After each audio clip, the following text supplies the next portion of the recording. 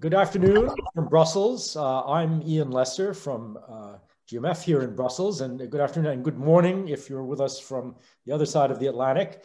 Um, thank you very much for joining us today uh, for this conversation uh, with Ambassador Ünal Çeviköz, uh, former senior Turkish diplomat and, and longtime friend of GMF, uh, but now in a senior position as a deputy in the Turkish Grand National Assembly from CHP, from the Republican People's Party, Turkey's leading opposition party.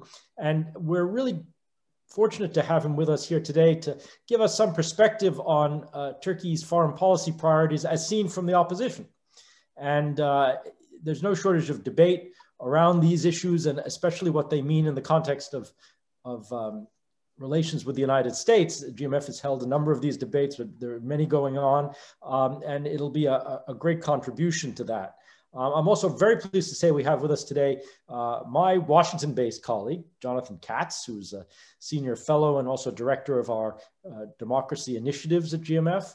Um, and he'll moderate today, actually, but he asked me just to say a few words of welcome, but also to maybe say a few words uh, to start us off on the issues. And, and, let me just make a couple of very, very brief points before turning it over to Jonathan.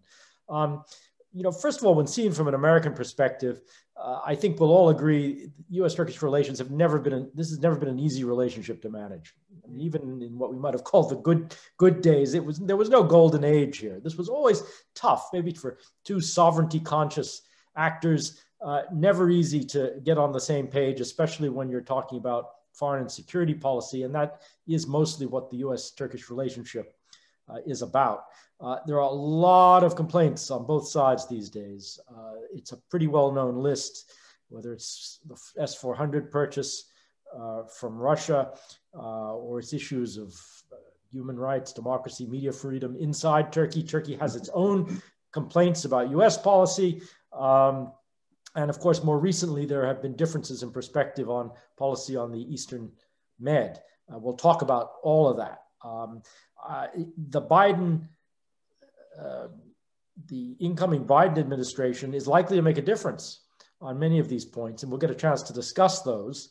Um, I think this is likely to be something that the Biden administration will will focus on and focus on quite early. There is a bipartisan consensus, I would say, uh, around a number of these critiques of Turkish policy. Uh, they will be hard to change, I think the S400 issue, there are some creative solutions perhaps, but they're not easy.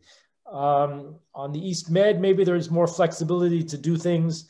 Uh, but I, again, you know, I think there's a very strong feeling, frankly, now on both sides of the Atlantic, that Turkey's very assertive posture in the Eastern Mediterranean uh, has been destabilizing. And that's, that's a separate issue really from the question of the underlying merits of the, of the argument as put by Ankara.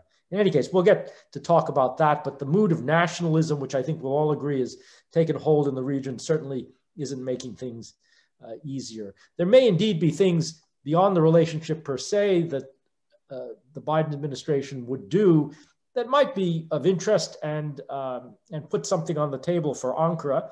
Um, very simply put, I think it's about giving Turkey reassurance and deterrence in a, in a very dangerous regional setting presumably for years to come.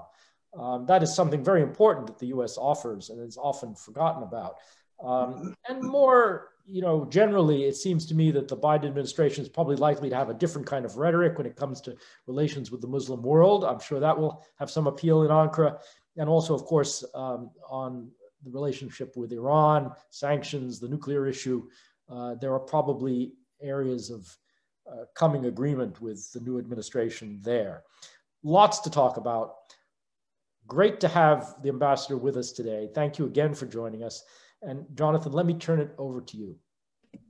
Ian, uh, Ian, thank you for that. And also, I think your observations are are you know spot on about uh, the potential of, of some new opportunities, but also um, the areas that still remain uh, uh, a sore point in transatlantic relations uh, with Turkey. Some issues that are still playing out including at the EU and something that you're seeing in, in Brussels as it relates to, to Turkey. I, I too want to welcome the ambassador who I had a, a ple pleasure to meet many years back uh, when I was uh, working as uh, a staffer in Congress uh, with the Congressional Turkey Caucus uh, way back in the day. Um, and I just wanted to, to thank the ambassador, who's also now now in uh, now in the political fray as a member of, of Parliament. And uh, one thing I wanted to add, Ian, on top of what you you started to say too, is that I'm I'm amazed when, uh, political much more uh, internally, uh, as we saw in the last local led, uh, including the United States, your you know, participation. And uh, we're really thrilled that you can be here today. Uh, one of the things I wanted to add on top of this is that, uh, you know, we're going to have a Q&A session that's going to be coming up as well. And we would ask participants to, to go to the Q&A function in Zoom and pose questions to, to the ambassador. Um, and uh, I just want to highlight that that you, you know that you've been ambassador in, in a number of countries as well uh, when you were part of the the Ministry of Foreign Affairs, and I, I think you, you you know you, you bring a breadth of um, experience in the Black Sea region to the South Caucasus um, and uh, and beyond. That's really important to the conversation that we're going to have today, including including Iraq uh, as well, and your uh, your uh, old hat as ambassador to the UK. So uh, what one of the things that I wanted to ask you first, Ambassador, uh, was was about the um, about Turkey's grand foreign policy strategy from the perspective of of CHP of the opposition. I mentioned that Turkey is not monolithic. Um, it's in fact quite a dynamic political domestic political scene. Um, and your party did quite well in the recent local elections uh, including uh, winning several uh, mayoral races in, in major cities. And so I think we would be very interested to get a sense from you. Um, what is what do you think Turkey's grand uh, foreign policy strategy should be from from your perspective and that of CHP. I've also seen you uh, in sort of a number of publications and quite publicly saying that there are differences uh, between approaches on on issues uh, foreign policy, Eastern Med, uh, Eastern Mediterranean policy. Um, but then there's also those that argue in the think tank community that perhaps uh, CHP's policy, foreign policy direction is very similar. There's really no differences. So I guess maybe I'll start you off with those two questions about what you view as the, you know, sort of the grand strategy um, from the perspective of CHP, but also, you know, whether or not where the fault lines and differences between uh, between uh, your party um, and the current party in power today. And so maybe we could start start off with those two easy questions, um, but also really uh, really important for those that are trying to, as Ian said, particularly from Washington or Brussels, with politics changing here, with a new administration coming in. Uh, what are those what are those differences and and what is the strategy? Over to you, Ambassador. Thank you. Thank you, Jonathan. Thank you, Ian. It's so good to see you all. Uh, and uh, it's a great uh, pleasure for me uh, to be invited. And I also thank the GMF for organizing this uh, webinar. Um, uh, Ian has also mentioned the important issues, particularly between the United States and Turkey, and that it has never been a very easy relationship. but I think particularly after 2003, uh, it has uh, faced a lot of uh, serious difficulties. Um, Jonathan, the two questions that you have asked uh, actually give me an opportunity to make a, a, a very brief uh, overview about the uh, Republican People's Party's vision for foreign policy. and I will probably start with mentioning that uh, during the AKP rule, uh, the AKP uh, foreign policy uh, has actually lost three important elements in Turkish foreign policy. These are impartiality, predictability, and reliability.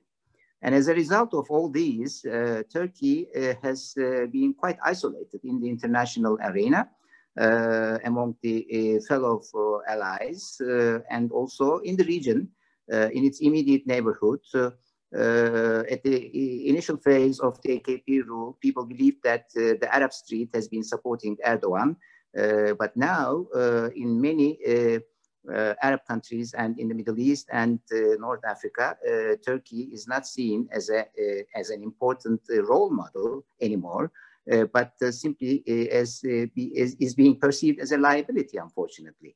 And this is simply because Turkey has lost its impartiality and Turkey started to take sides in the uh, solution of the problems.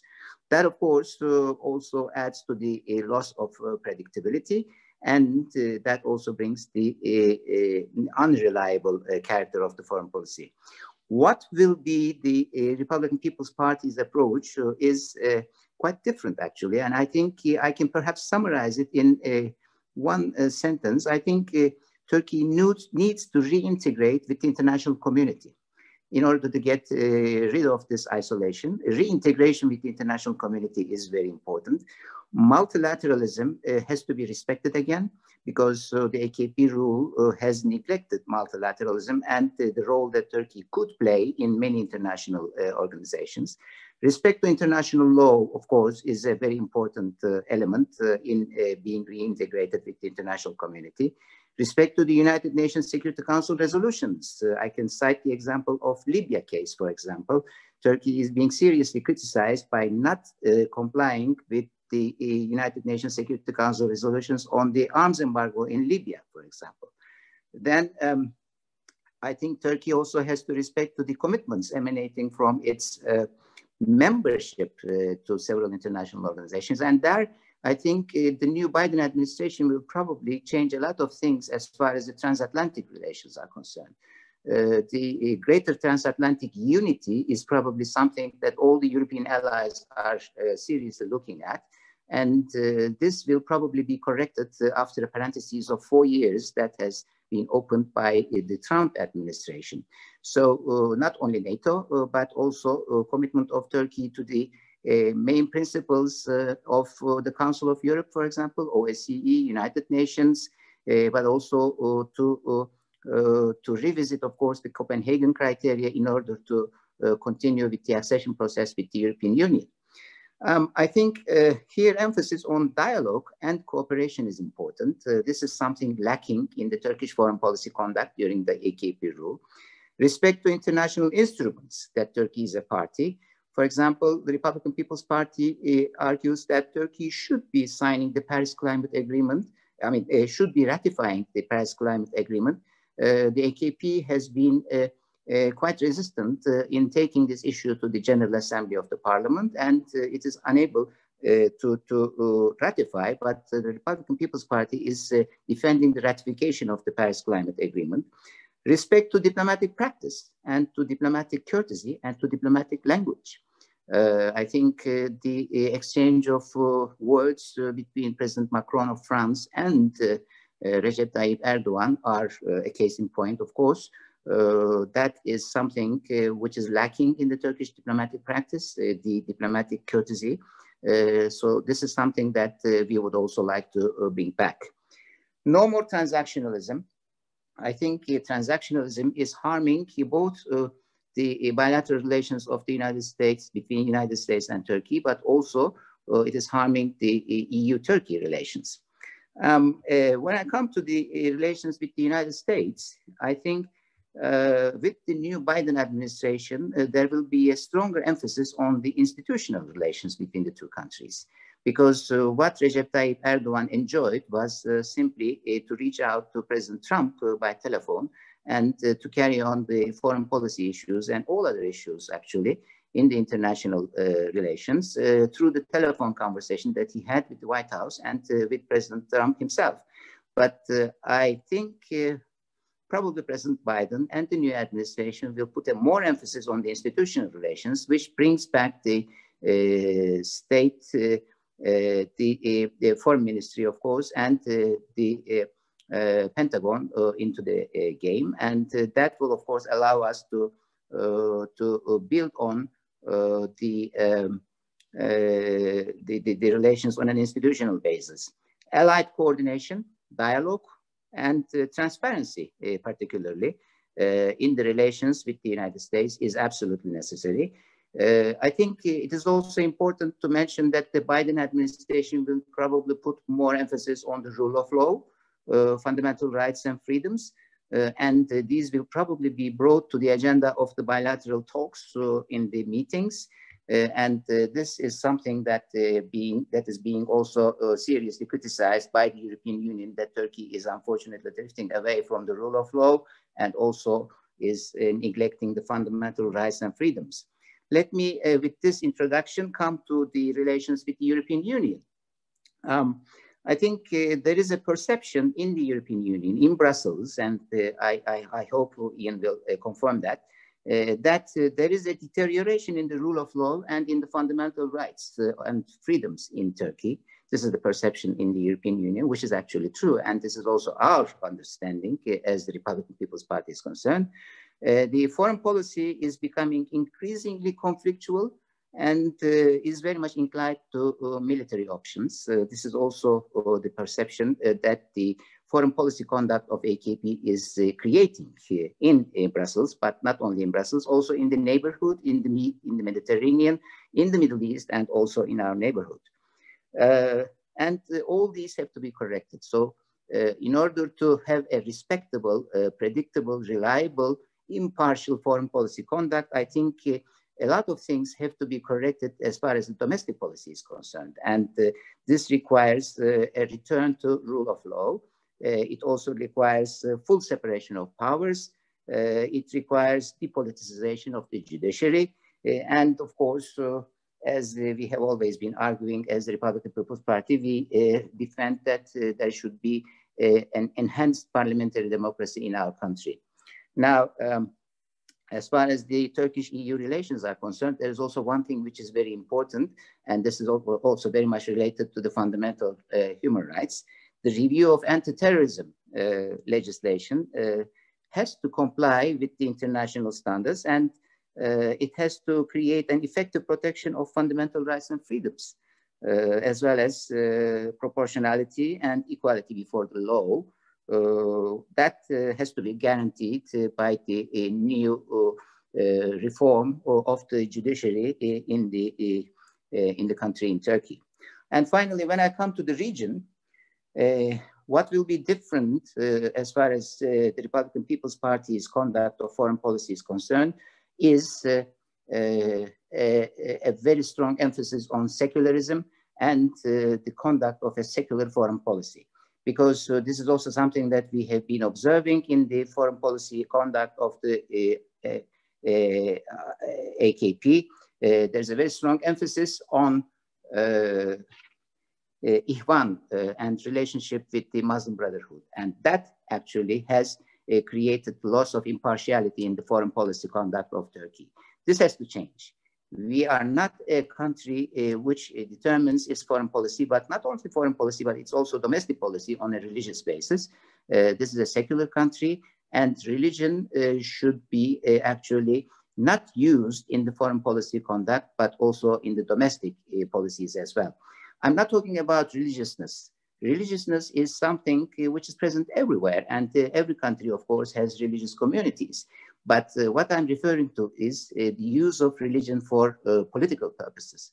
And I think uh, there is a growing perception that uh, the AKP rule has introduced uh, political Islam into Turkish foreign policy, and that has to change. And this is something which will be entirely different under the Republican People's Party's vision of foreign policy.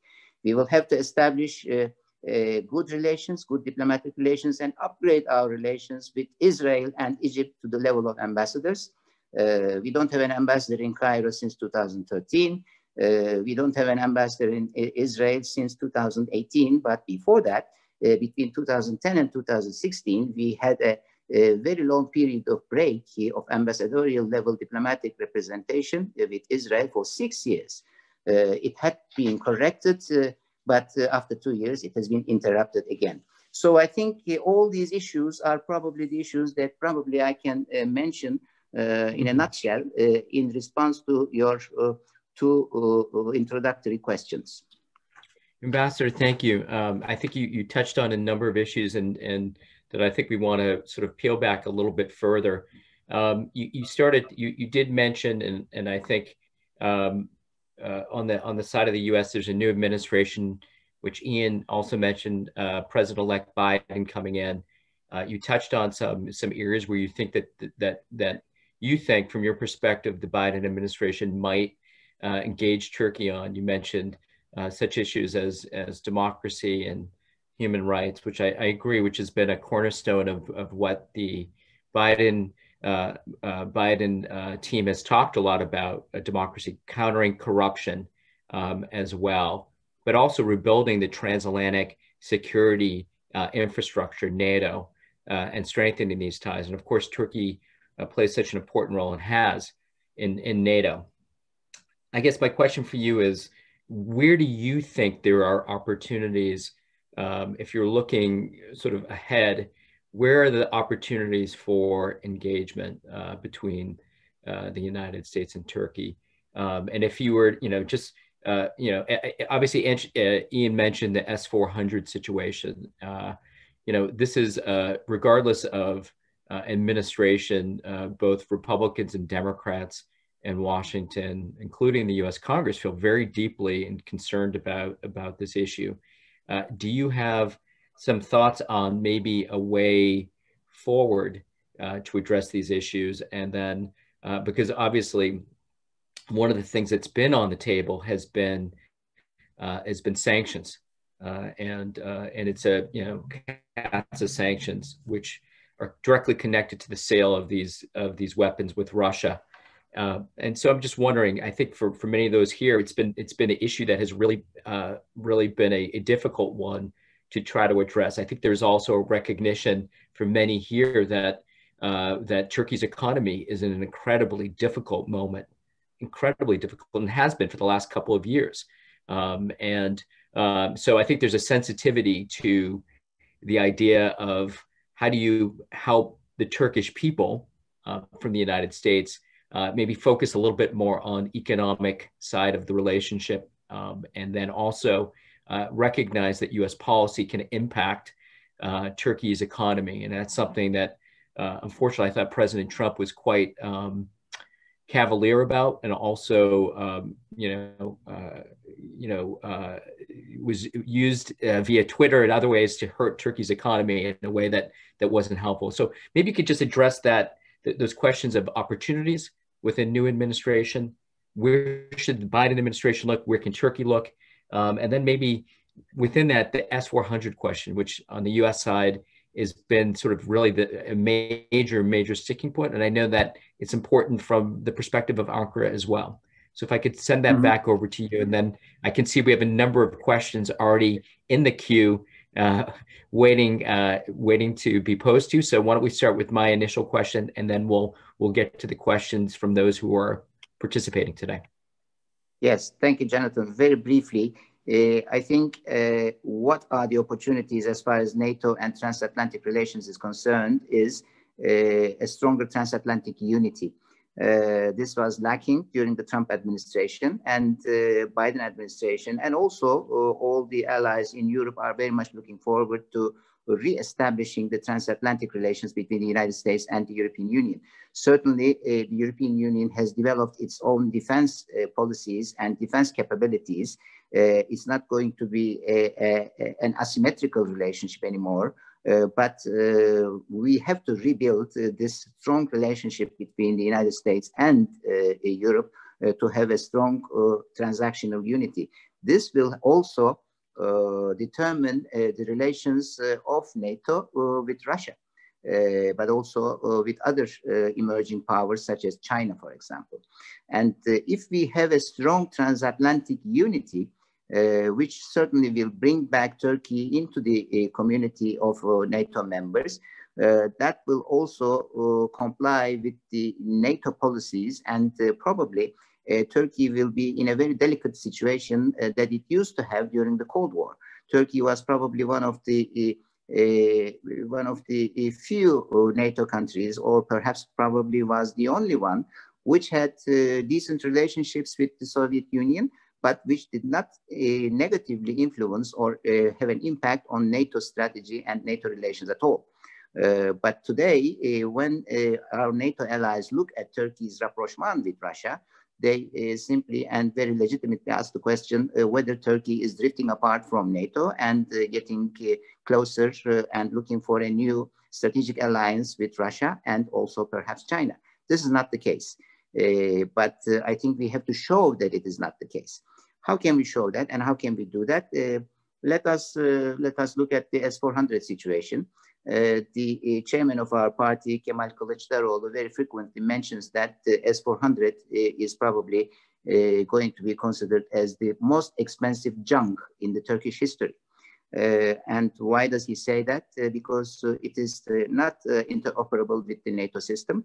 Uh, and uh, the 2.5 billion US dollars, which has been already paid, is uh, probably not going to be efficient because S-400s will not be operable. They cannot be integrated into the NATO system. They cannot be used as a, a standalone system because this will also contradict to the existing NATO infrastructure and uh, for the defense of the uh, NATO airspace, this will create some complications. As a result of this, uh, Turkey unfortunately has been excluded from a very important strategic project, which is called the F-35 project. I think um, non-operational uh, status of S-400 uh, is probably going to come to the agenda of the government. And if it doesn't, it will come definitely to the agenda of the next government, which will be led by the Republican People's Party. Uh, so that uh, if it happens, then uh, we expect uh, Turkey to, uh, to move back to the F-35 project and to benefit from the strategic opportunities that it has created for Turkey and for Turkey's defense industry. Uh, I think these are the opportunities. There is also uh, a new attempt, of course, uh, to rewrite the new NATO strategic concept and to look at what NATO's role could be in the new environment of the 21st century. Uh, Turkey is, of course, going to contribute to that, uh, to the formation of the new strategic concept. And I think Turkey has a very important role to play in the new strategic concept of NATO. Uh, Turkey has been quite efficient in non-Article 5 missions uh, in Kosovo, for example, in Afghanistan, and uh, uh, formerly, of course, in Bosnia.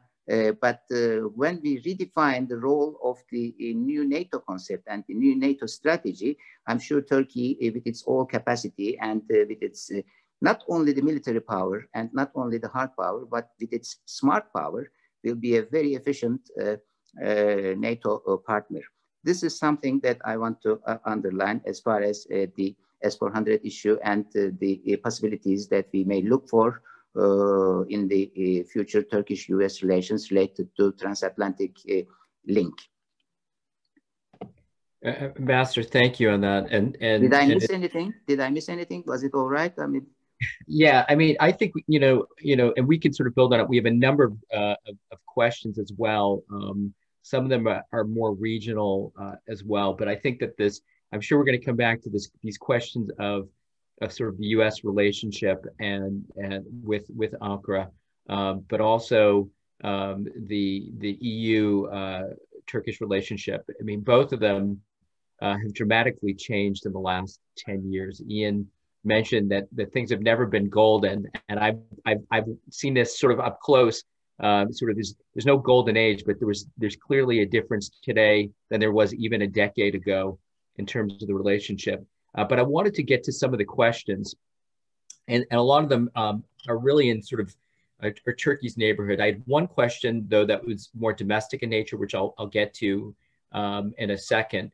Uh, but, but but a question, a couple of things. Um, one um, you've obviously had a tremendous experience in, in the South Caucasus region um, and um, and in terms of Turkey's relationship both with Armenia and Azerbaijan. And I, one of the questions posed is how, how does you know how do you see Turkey's current position in the in the Caucasus region? I assume this means South Caucasus. Um, and can Turkey strengthen its position in NATO by using its recent uh, success in in the region?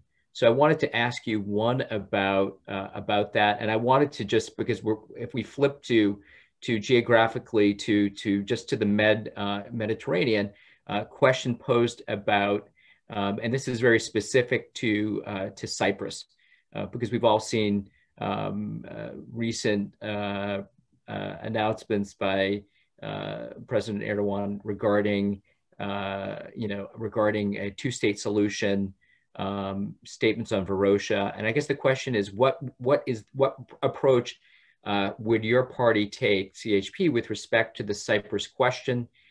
Um, you know, and, and what are your views on, on President Erdogan's recent statements on Varosha, Cyprus uh, during his recent visit there? So maybe we'll just start with those two, you know, two two questions because they're you know they're areas that you've spent a lot of time focused on, and and also um, there is a great deal of interest, as you can imagine, uh, both here in Washington, Brussels, and elsewhere on these issues. And it goes to the heart of your initial statement about strategy within uh, Eastern Mediterranean. But some of these issues, like Cyprus, have been long outstanding.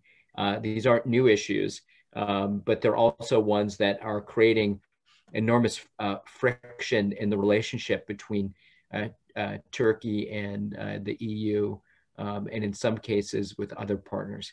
So, if I can send mm-hmm. those two questions to you. About the Caucasus, uh, and particularly about NK, uh, the Nagorno-Karabakh problem, uh, I don't think that NATO has uh, any role to play in that uh, conflict and uh, in that frozen conflict. and I don't think that Turkey's position in the Caucasus will have a, a positive role to enhance its position in NATO. Uh, the Caucasus issue, and particularly the conflict between Armenia and Azerbaijan, is uh, not uh, a, a, serious agenda item for NATO, and uh, Russia uh, will never allow it to happen. Uh, but what has happened in, in the Caucasus in the last 45 days is amazing. but I think we have to also underline here that Russia has come back to the region very seriously. Uh, when we look at all the post-Soviet frozen conflicts, uh, all of them are bilateral problems uh, between the uh, mainland country and Russia. Uh, it is the case with Transnistria issue, for example, uh, Russia-Moldova problem. It's the case with Crimea and Donbass region, Russia-Ukraine problem. It's the case with Abkhazia, South Ossetia. It's a, a Russia-Georgia problem. Uh, but the only difference uh, that Nagorno-Karabakh had uh, was it did not involve Russia directly. It was a bilateral problem between Armenia and Azerbaijan. Uh, at the end of 45 days, I think Azerbaijan is a big winner uh, because uh, it has liberated uh, all the occupied seven regions uh, around Nagorno-Karabakh. Uh, four of them have been liberated by the military operation. the remaining three are now gradually being returned to the Azerbaijani forces. Agdam has been returned today and uh, and Lachin will return. Turkey has supported, uh, of course, uh, Azerbaijan's just uh, operation because we believe that it was an unfair situation to keep the uh, more than 20% of the Azerbaijani territory under the Armenian occupation for uh, close to 30 years. So uh, Russia also allowed Azerbaijan to carry out the military operation to liberate its occupied territories. But now there's a very important, significant difference here. Russia has entered uh, into the Nagorno-Karabakh conflict and uh, has deployed its troops, just like in the other frozen conflicts in Moldova, in Ukraine, or in Georgia, between the Azeri forces and Armenian forces, and uh, stopped actually the uh, moving forward of Azerbaijani army uh, to enter into Nagorno-Karabakh. Uh, Azerbaijan, of course, militarily has made a big success and won a victory, uh, and liberated its seven regions. But uh, the status of Nagorno-Karabakh is, is, still undetermined and uh, it is not clear what will happen. And in the ceasefire agreement, nothing is mentioned about the future of the talks and negotiations for the resolution of Nagorno-Karabakh.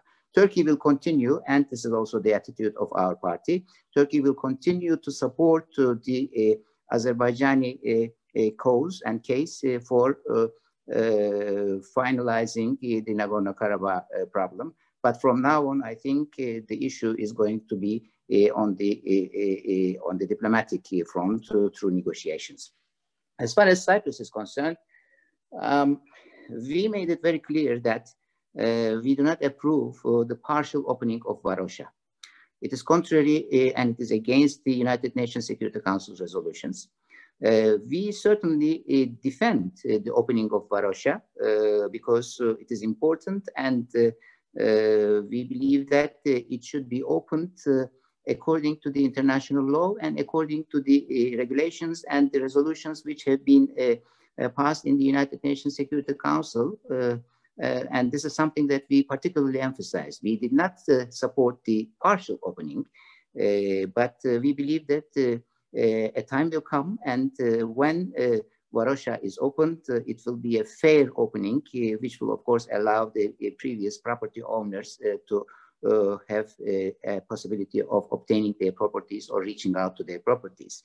Now, the, the two-state solution is uh, one of the uh, formulae which are on the agenda. we cannot say that it is the only solution, uh, it is unfortunate that uh, in 2017, the, the, meeting in Crans-Montana uh, could not find a solution to the federal resolution of the Cyprus problem. but all the parties agreed that at the end of Crans-Montana, they said uh, all the options are now open and all the other formulae and all the other alternatives should be on the desk, on the table uh, to be discussed and negotiated.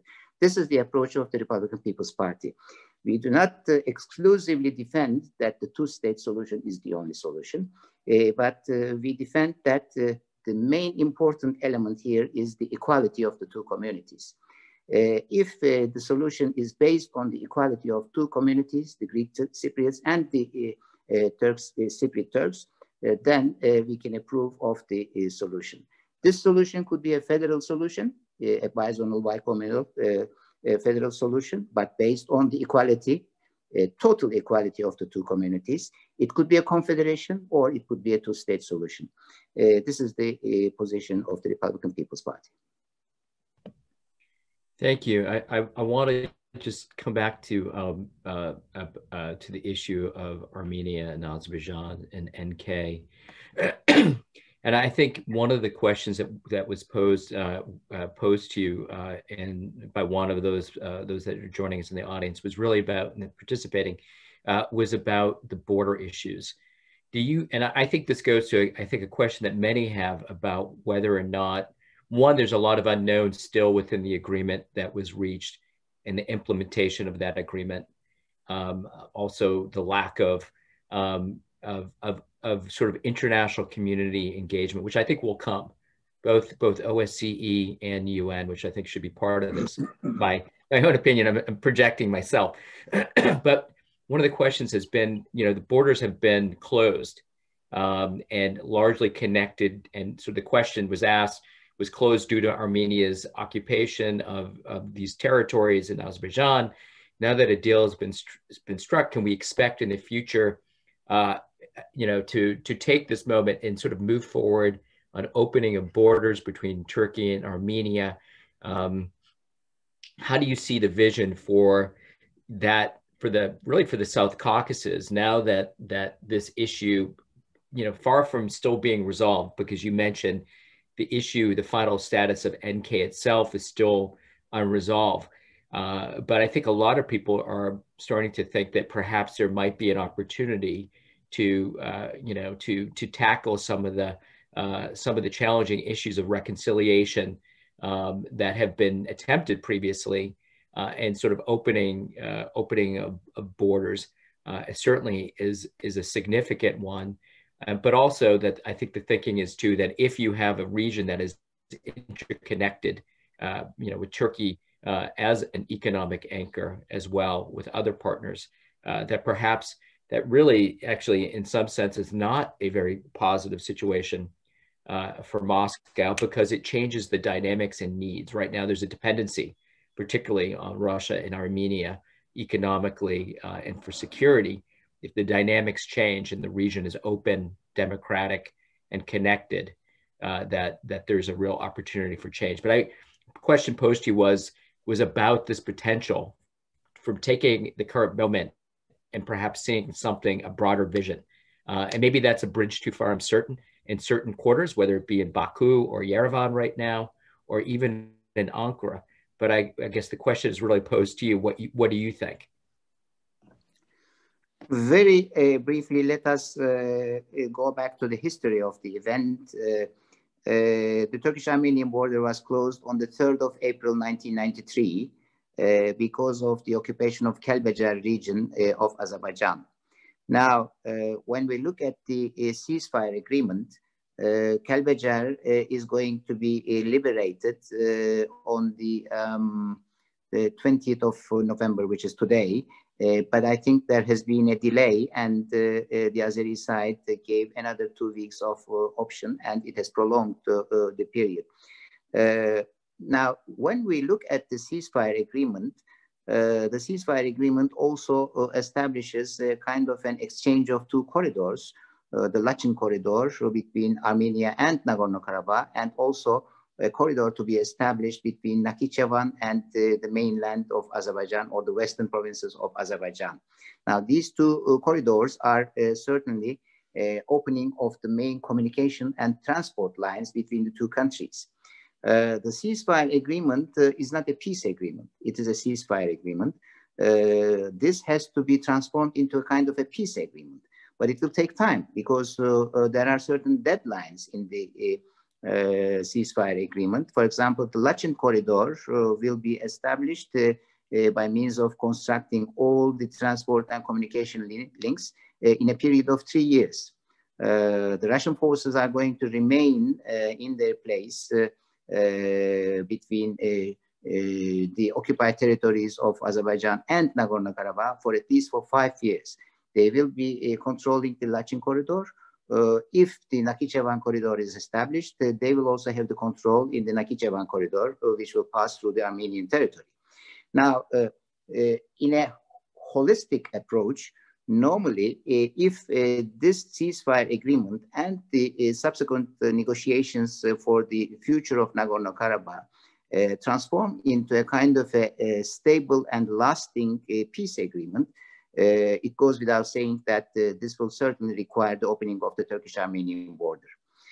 and there comes the role that Turkey can play. Actually, it could be a very important element Uh, to uh, bring a stable and a lasting peace to the region if Turkey uh, could introduce its uh, soft power and smart power uh, by adding to that multi-variable equation the relations between Turkey and Armenia. Uh, if this is added uh, to the uh, equation, it could perhaps bring a very a, reasonable solution to the whole region. Uh, I can perhaps recall the 2008 uh, Turkish initiative, the Caucasus uh, uh Peace and Stability uh, platform. Uh, this was, of course, involve, involving three plus two uh, uh, format, uh, the three Caucasus countries, South Caucasus countries, Georgia, Armenia, Azerbaijan, plus Russia and Turkey. we can perhaps revisit that Caucasus stability and Uh, peace platform. Uh, but of course, uh, this uh, has to uh, have two major elements. First, the ceasefire agreement has to evolve into uh, at least at least it has to give some hope that it will evolve into a, a lasting peace agreement. And uh, when it is uh, possible, then I am sure Turkey will always be a, a, very important contributor to this lasting peace. Uh, and uh, the uh, Turkish-Armenian relations and opening of the Turkish-Armenian border could be a very important element to give a momentum to the reaching out of the lasting peace in the region. Thank you. Um, and I think this is an important, important, important uh, topic to sort of build on. And and I, I, appreciate the sort of the connection between the the, the ceasefire to a uh, to an agreement. I get one of the questions that we received, um, and I'm going to just sort of bring it back to um, also to um, to the United States. And the question posed to you is, what can the uh, the new Biden administration offer to Turkey that the Trump administration has not to mend and reset the relationship with Turkey? And uh, you know, are there things that you can point to that that that could be offered? Democracy Uh, I think uh, the, uh, the first uh, expectation that we would have uh, from the Biden administration is to put a very strong emphasis on rule of law, on democracy, and on the depoliticization of the judiciary, separation of powers, and uh, to uh, introduce all the democratic uh, reforms and to introduce media freedom, to introduce Uh, freedom of expression, uh, freedom of gathering, uh, and all kinds of fundamental rights and freedoms. This is uh, something that uh, the United States and the new Biden administration uh, could ask Turkey to introduce, and of course, in return, enhance the trade relations, because this this is something which is very important between Turkey and the United States. Uh, there's an enormous opportunity of enhanced trade relations, uh, and I think uh, Trump administration has been, in a way, quite protective uh, in the uh, global trade uh, relationship. Biden administration is probably going to open the global trade relations and uh, it may also have an opportunity to talk back to the TTIP, uh, the Transatlantic Trade and Investment Partnership between uh, Europe and the United States. All these will also give an opportunity to and enhance the Turkish-American trade relations. Mm -hmm. uh, but uh, there is a conditioning here, and uh, I think my party is very serious on, on that conditioning. Uh, the United States has to look at Turkey uh, from a perspective of democracy. Uh, thank you for that. And, and, just as I'm seeing that, Ian, I, I, you know, this is a question too for you, and I, I think it just wanted to maybe bring you into. It was a question about what what could the Biden administration offer Turkey versus that of, of the Trump administration the ambassador uh, raises this issue, raises the issue of, of, sort of engaging on democracy and on rule of law. Um, and I think it's interesting enough because I see President Erdogan sort of saying we need to sort of do more in this space because it's impacting the economy. Um, that it has a direct impact because of, of the issues of, of corruption and other issues too.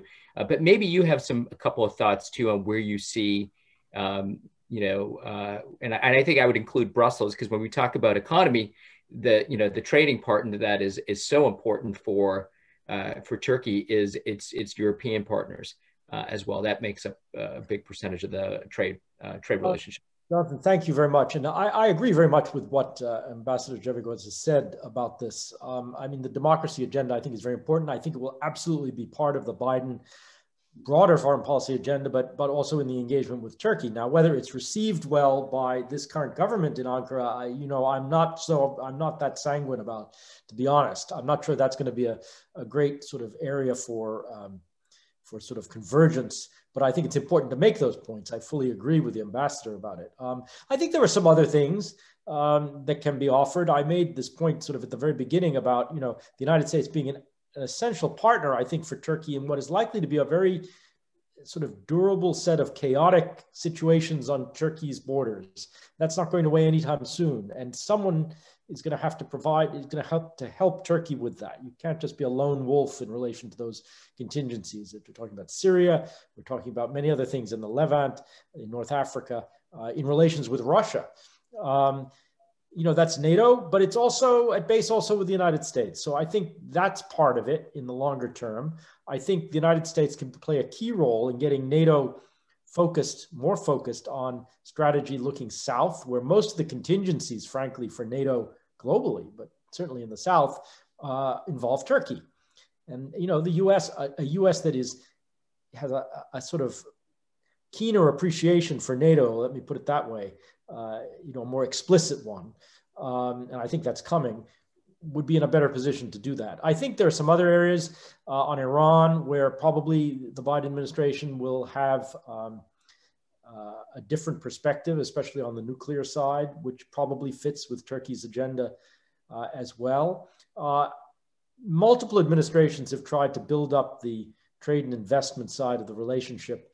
Surely are things that can be done, but one thing that probably we can do is to help a better relationship between the United States and Turkey will reduce the kind of net strategic risk for investors in Turkey.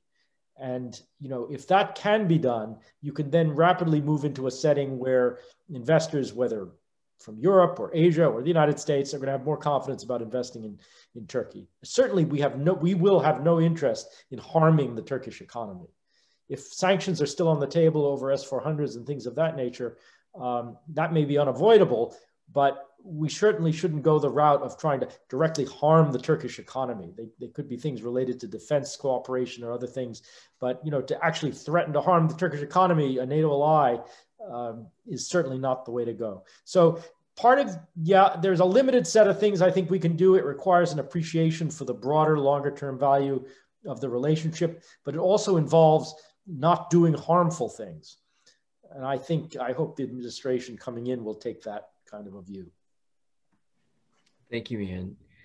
Thank you for highlighting those points. And and I think when we talk about we were talking about investment in Turkey and economic, not only with the betterment of the of the U.S. Turkish relationship impact Turkey potentially impact Turkey's economy, but the issue of democracy and rule law as key to investors looking at Turkey um, is also really important. Ambassador, can I bring in two other questions that that um, that that uh, I think others are sort of wondering about. One is Syria and the approach of um, of, of CHP uh, towards Syria, um, and uh, maybe just talk a little bit about what you see as um, as you know as a as a strategy there. Obviously, of of real concern. Also, an area where uh, President Trump and and President Erdogan have uh, concluded actions over telephone calls. Uh, it's been a uh, something of controversy here in the U.S. Um, obviously, there's still you know always these the issue of of of of, of Kurdish policy and sort of approach, and sort of interested to hear about that on the CHP side. Then also just another sort of geographic uh, question for you uh, would be the Black Sea. Um, there's been discussion of a of a NATO Black Sea uh, fleet, something that Romania has championed, um, and you know what would be uh, the position of and and viewpoint of of CHP if in power. Um, you know, to uh, is that something that that that that you would consider to be a priority uh, in the Black Sea region? So, two questions: one, uh, uh, Syria, but then also turning up into sort of Black Sea region uh, a Black Sea fleet. And thoughts on that? Thank you. Thank you. And uh, I think uh, uh Ian has uh, made a very important contribution about the uh, Syria issue. and he mentioned the Turkish-US bilateral relations to develop in the sense that Turkey could be comforted by the United States by giving Turkey some security guarantees in its southern borders. And that, of course, involves Syria and also to a certain extent uh, uh, Iraq. Uh, I think the Syria issue is very much related to the Kurdish issue. Uh, let me start with the Kurdish issue. Uh, first of all, uh, I have to underline that the Republican People's Party has a, a very serious vision for the resolution of the Kurdish issue. it's a matter of human rights issue, and it's a matter of internal historic conciliation, reconciliation of the Turkish population. Uh, we missed an opportunity in 2015, unfortunately, when he, we had uh, uh, this dialogue uh, uh, process uh, for the resolution of the Kurdish issue. but if the Turkish administrations, either the current one or in the future, the next coming one, cannot deal with the Kurdish issue domestically and by its own capabilities and possibilities, I'm afraid uh, the solution will be imposed to Turkey from abroad. And this is something that we do not approve of. Also, uh, this is the reason why uh, we uh, pay a very big importance to the resolution of the Kurdish issue by a Turkish government, but the resolution should be in the Turkish Grand National Assembly and in the Turkish parliament. Uh, the uh, issue here is there is a growing perception in the Turkish population that uh, the AKP rule uh, has uh, condemned the Kurds as always being linked to the PKK terrorism. This is not something that we approve of. We have to make a distinction between the PKK terrorism and our fellow Kurdish origin citizens and the Kurdish community that we have also in the neighboring countries, such as in Iraq and Syria. Uh, this is something that uh, we have to uh, develop seriously, the relations between the uh, Kurdish relatives of our Kurdish origin citizens in Iraq, uh, in Syria, uh, is very important. And if we can establish this, and if we can look at it uh, from this human rights point of view on an equality basis, uh, then uh, we will be able to resolve the uh, terrorism issue. Uh, I think the, the Syria issue has two aspects. one is, of course, the east of the Euphrates, and the other one is Idlib. Idlib is currently a, very serious uh, situation because it is developing uh, very bad. Uh, we have insisted that uh, Turkey should move back its observation points to, to the north of M4 and M5 uh, uh, motorways as early as possible. but since Turkey did not realize its commitments uh, taken in the Sochi agreement in 2018 September between Russia and Turkey, uh, Turkey has suffered uh, in February this year uh, by uh, giving some 40 martyrs uh, in Idlib. And this is simply because Turkey did not realize its commitments and did not uh, uh, uh, bring a, very convincing delivery to its commitments. this is simply because Turkey is still having the difficulty of getting rid of the uh, Muslim Brotherhood approach uh, to the problems of the region. This has to change. And if you look at it uh, from a uh, an impartial uh, uh, point of view, I think there's a lot of opportunities to develop in Syria. And this is something that the Republican People's Party defends. So the Kurdish issue and the Syria issue are very much connected we believe that uh, as soon as the uh, Syrian security forces uh, and as soon as the democratic transformation of Syria happens, uh, as soon as the Syrian security forces guarantee the security and stability in their country, Turkish troops uh, should withdraw, of course. it is not going to remain uh, as if it were some kind of an occupation in Syria. This is a wrong perception. We do not want to give that kind of a perception to the international community. The reason why there are Turkish troops there is certainly because of the Astana process and uh, the agreement between uh, Russia and Turkey. Uh, but uh, when uh, the resolution is found in Syria, uh, this has to come to an end. It is also related to the Syrian refugees. Turkey has more than 4 million refugees in Turkey. and this is also a very big burden. The refugee issue is also very much connected to the, the final status of the Syrian issue. We believe that all those people if they choose to do so, uh, should have an opportunity to go back to their homeland. Uh, but of course, uh, uh proper uh, and uh, welfare conditions have to be reestablished in their country so that they can move back safely and reestablish their lives there. Um, as far as the Black Sea Fleet issue and NATO's role in the Black Sea is concerned, I think there are three NATO countries uh, in, in Black Sea. Uh, there is Romania, Bulgaria, and Turkey.